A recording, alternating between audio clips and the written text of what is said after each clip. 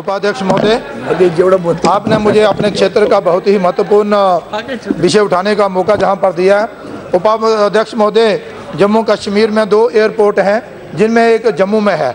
और जो जम्मू का एयरपोर्ट है वो छोटा एयरपोर्ट है वो इंटरनेशनल एयरपोर्ट नहीं है।